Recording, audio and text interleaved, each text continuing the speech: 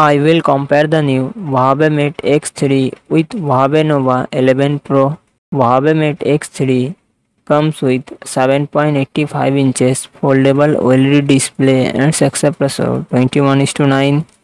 Huawei Nova 11 Pro comes with 6.78 inches OLED display and success ratio 20 to 9. Huawei Mate X3 run on the EMUI 13 operating system. It comes with 12GB RAM and 256GB, 512GB, 1TB internal storage, Qualcomm Snapdragon 8 Gen 1 processor and GPU Adreno 730, Huawei Mate X3 real set triple camera setup with a 50 megapixel plus 12 megapixel plus 13 megapixel and its front camera 8 megapixel 4800 mAh battery 66 watt fast charging support Huawei Nova 11 Pro run on the HarmonyOS operating system. It comes with 8GB RAM and 256GB 512GB internal storage.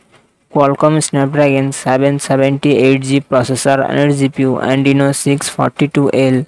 Huawei Nova 11 Pro real set dual camera setup 8 megapixel plus 16 megapixel and its front camera 8 megapixel plus 16 megapixel 4500 mAh battery 100 watt fast charging support